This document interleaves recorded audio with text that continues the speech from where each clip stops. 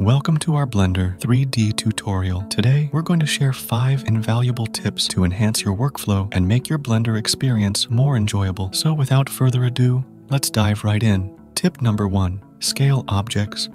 You have an object, you want to scale it down, but not exactly in the middle. Go just go to scale, hold left mouse button, and select scale cage. Now you can select different points and scale them in different axes.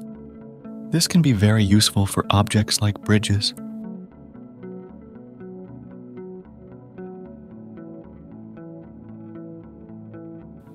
Before moving on to tip number two, make sure you subscribe my YouTube channel and hit the bell icon. Our tip number two that is scatter objects. To do that, first go to the edit, hit preferences, add-ons, search for scatter objects.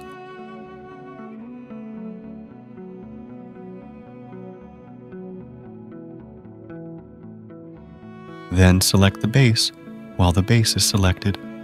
Press Shift and select the objects you want to scatter. Now, while both are selected, press F3 and search Scatter.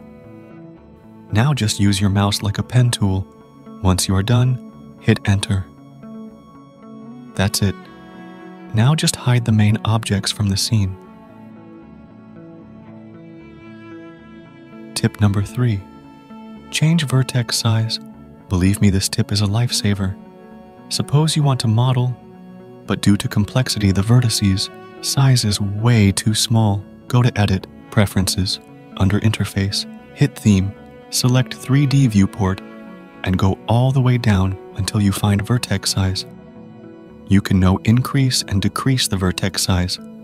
Make sure to save the preferences too, once you change the size.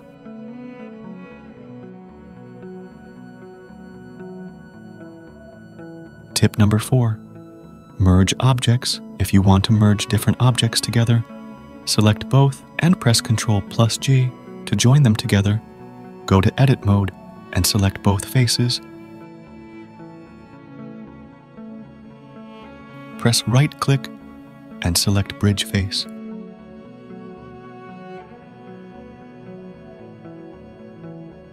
Last but not least, tip number five, that is repeat you created a shape and duplicated it with Alt plus D, and you repeat that action again and again.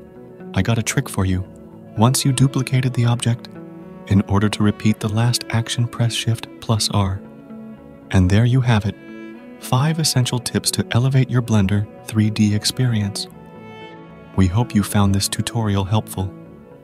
Stay tuned for more tips and tricks in the future. Till then, keep creating